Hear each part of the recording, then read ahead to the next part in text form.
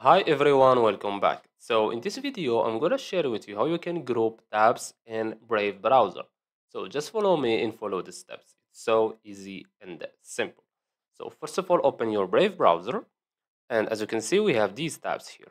So the first thing, go to the first one, for example, YouTube, right click on the tab and click on add tab to new group. Okay, now give it a name. So let's say Amrani and choose a color. Okay, so let's choose, for example, this one. Okay, then click any place. And as you can see here, this is our new group. Okay, if you want to add tabs to it, go to the tab, for example, this one, right click, and click on add tab to group and choose your group like this one. Okay, if you want to remove a tab from the group, for example, YouTube, right click and click on remove from group like this okay? Now let's say for example you want to remove all the group. Just click on the group right click and choose ungroup.